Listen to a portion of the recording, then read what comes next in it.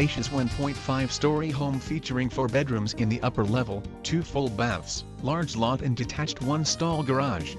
Property close to school.